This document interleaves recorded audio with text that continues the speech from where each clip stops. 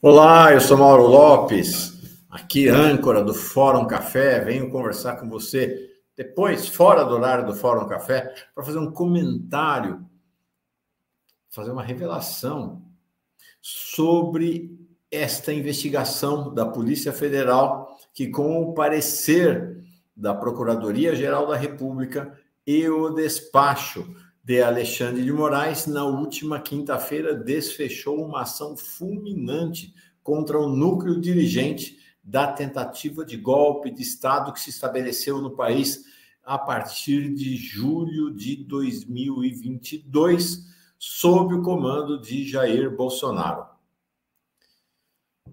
Vamos lá.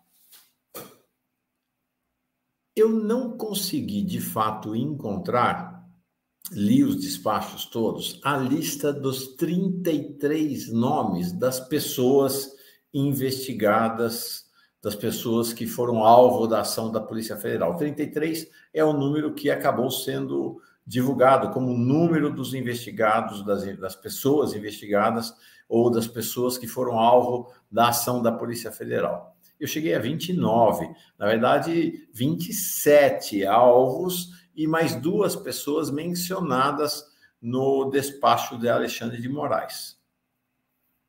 Pode ser que eu tenha me enganado. Acho que não. Mas, em todo caso, isso não faz grande diferença em relação ao nosso tema aqui. Paciência. Paciência, um segundo. Eu vou ler o nome das 33 pessoas. Vamos lá. Jair Bolsonaro, Valdemar Costa Neto, das 29 pessoas, desculpa. Vamos de novo. Jair Bolsonaro, Valdemar Costa Neto, Braga Neto, Augusto Heleno, Paulo Sérgio Nogueira, Ailton Gonçalves Barros, é, Almir Garnier Santos, Tércio Arnold Tomás, Estevam Teófilo Gaspar de Oliveira, Amauri Feres Saad, Ângelo Martins de Nicole, Cleverson Ney Magalhães, Éder Lindsay Magalhães Balbino, Estevam Teófilo Gaspar de Oliveira, Guilherme Marques Almeida, Hélio Ferreira Lima, José Eduardo de Oliveira e Silva, Laércio Virgílio, Mário Fernandes, Ronald Ferreira de Araújo Júnior, Paulo Renato de Oliveira Figueiredo Filho, Sérgio Ricardo Cavalheiro Medeiros, Anderson Torres, Felipe Martins, Marcelo Câmara, Rafael Martins de Oliveira, Bernardo Romão Correia Neto, Fernando Serimedo, Mauro Cid. Você notou alguma coisa nessa lista? Chamou a tua atenção? A mim chamou. E eu fiquei muito impactado. Só tem homem nessa lista. Não há uma única mulher. Só homens. Ah, alguém pode dizer assim, ah, mas por que chama, teria chamado atenção? Vamos fazer o exercício pelo inverso? Se eu tivesse lido uma lista apenas com o nome de mulheres, como é que vocês acham, como é que você acha que teria sido a repercussão na mídia? Qual teria sido a manchete de todas as mídias? Mulheres lideraram golpe, mulheres. Veja a lista das 29 mulheres. Alguém tem dúvida de que seria assim? Tá. Vamos supor que metade fossem mulheres. Alguém tem dúvida de que as manchetes seriam metade das pessoas investigadas pela Polícia Federal, alvo da ação do Supremo Tribunal Federal, são mulheres? Ninguém tem dúvida de que isso seria destacado, seria um destaque, não é? É óbvio que seria. E por que é que o fato de serem apenas homens não foi objeto de destaque? Porque é que não há uma manchete, um título, uma reportagem que aponte apenas homens estão na lista das pessoas investigadas. Por quê? Porque nesta sociedade estruturalmente patriarcal e machista, tem-se que os homens são universal. É, os homens brancos, em particular, são o universal, que é um paradoxo, uma contradição em termos, mas é assim que caminha a sociedade brasileira. Não há espanto quando há uma lista no qual existem apenas homens. Porque, do ponto de vista do padrão do establishment, do padrão do estabelecido na sociedade brasileira, são os homens, apesar de serem minoria na população brasileira, o ente universal. Então ninguém se espanta. Não há espanto. Haveria escândalo apenas se uma parte expressiva da lista fosse apenas fosse constituída por mulheres. Ou se imagine todas as pessoas da lista fossem mulheres, seria um mecatombe, seria um mecatombe. Por quê? As mulheres são a maioria. Qual seria a surpresa? A surpresa seria pelo fato de que elas não contam. De que elas não estão contadas na lista das pessoas que são consideradas universais. Os homens. Bom, essa é a primeira questão em relação a essa lista. É uma lista de machos. É uma lista no contexto de uma sociedade patriarcal que naturalizou a ideia de que os machos são o universal na sociedade.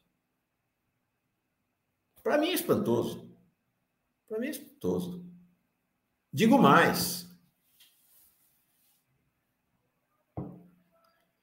Nesta lista,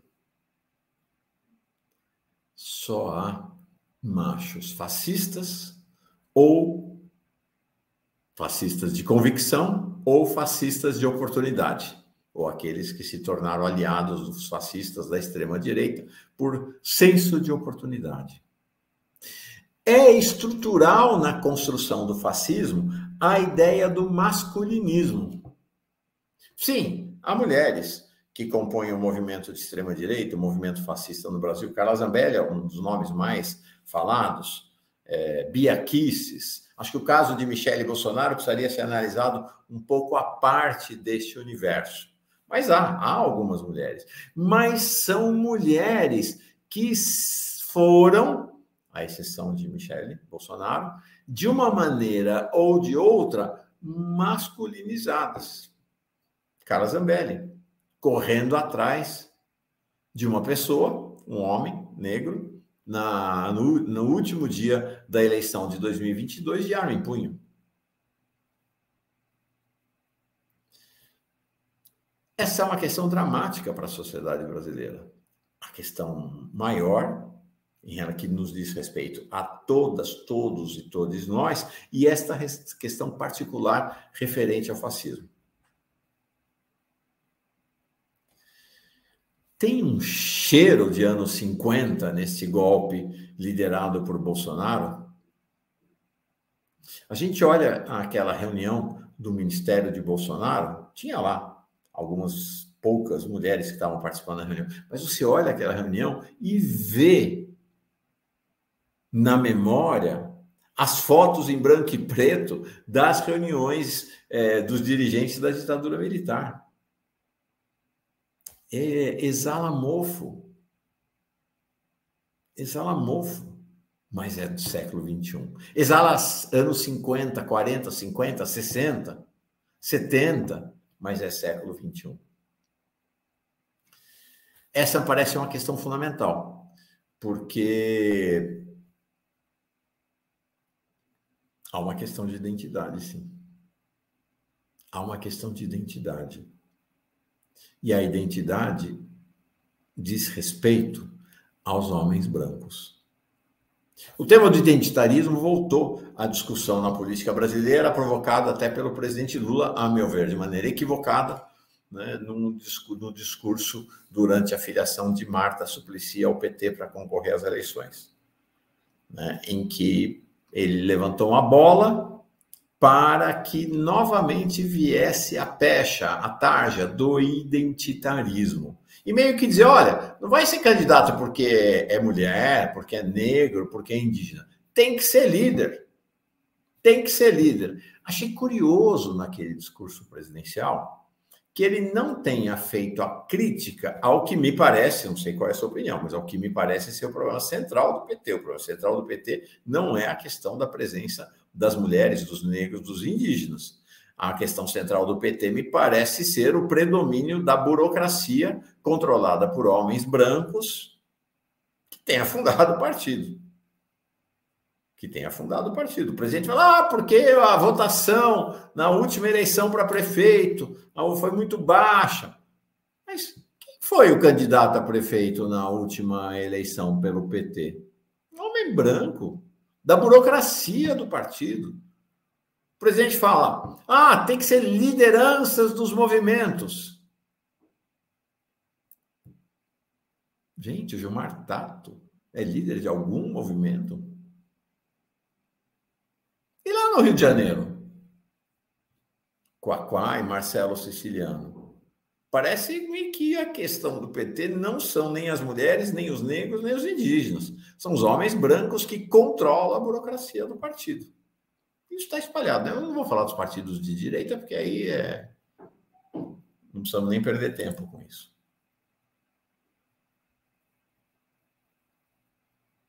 Por sinal,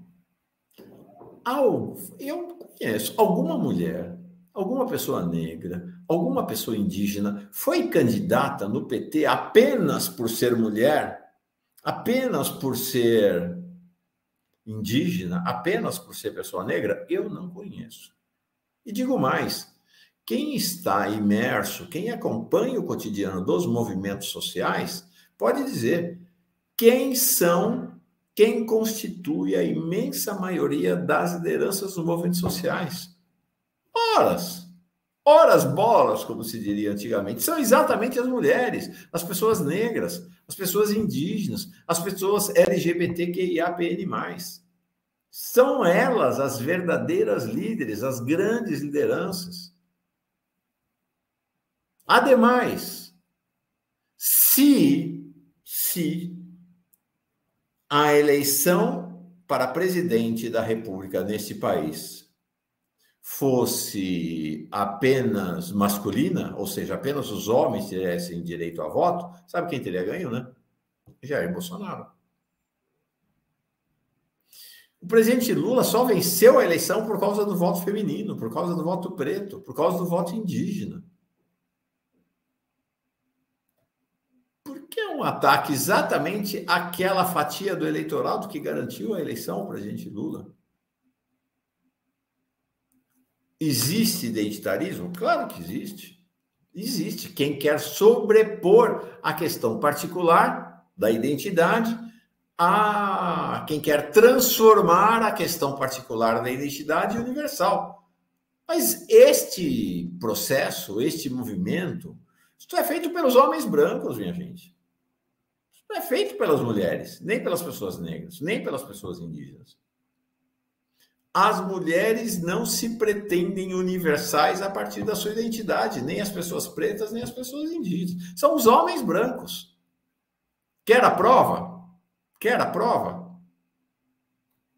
Esta lista dos golpistas. Esta lista dos golpistas só tem homens. É, e, e ninguém se espanta. Por quê? Porque os homens se pretendem, e a sociedade ainda lê assim, porque essa é uma sociedade estruturalmente patriarcal e machista, universais. Universais. O golpe que estava em marcha é um golpe macho, um golpe militar, um golpe feio, um golpe de gente que em gerações passadas estava nas salas de tortura, torturando. Um golpe que pretendia trazer de volta este tempo. reabrir as salas de tortura. Claro, há salas de tortura abertas no país, nas delegacias, em delegacias de polícia espalhadas por todo canto, nas prisões em todo canto. Estou falando, me referindo aqui às, às salas de tortura políticas, mas as há. E essa é uma característica também, né? Estou falando do Brasil. Alguém pode me apontar uma mulher que tenha sido torturadora? Alguém conhece? Passou a história do país o nome de uma mulher sequer que tenha sido torturadora?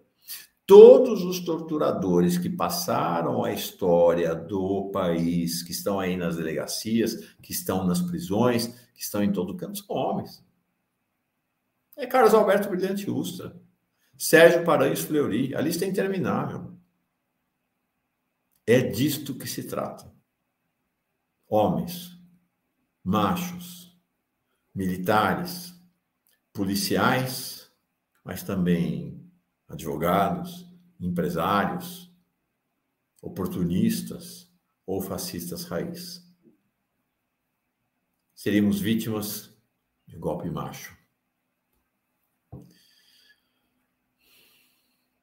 Sabe quem está denunciando esse golpe macho? Quem está à frente, quem está no comando da denúncia deste golpe macho? eu te digo, as jornalistas mulheres. São elas as líderes da denúncia do golpe macho. É isso aí. Eu sou Mauro Lopes. Este é mais um recorte, um corte, uma análise da Fórum TV. Até a próxima vez. Paz e bem.